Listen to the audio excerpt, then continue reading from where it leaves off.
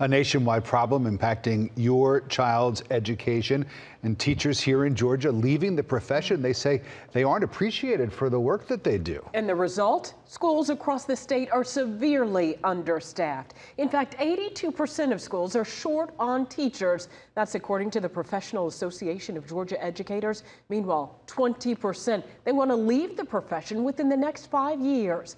Reporter Abby Kousouris shows us how teachers are trying to get the problem fixed. There are more than 100,000 teachers teaching more than 1.6 million students in our state every day.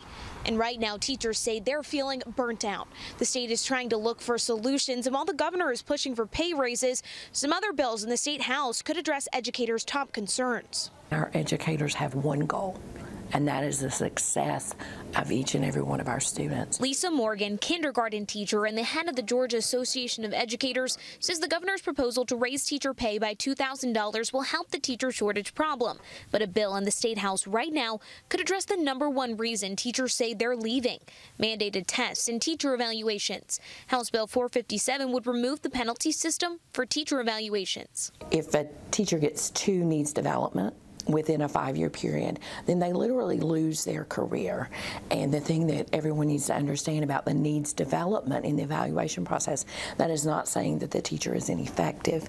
That is saying that in some areas the teacher is inconsistent in their practice. There are several bills this session aimed at attracting and keeping educators here and also support staff. Senate Bill 105 includes additional retirement benefits for bus drivers, cafeteria workers, and custodians. When they retire, is getting $290 a month for their pension, which is horrific. It is unconscionable. And there's a bill out of Colorado getting Georgia's attention. It would create reciprocity between our state and several others, removing expensive licensing fees and long waiting periods. In DeKalb County, I'm Abby Kousouris.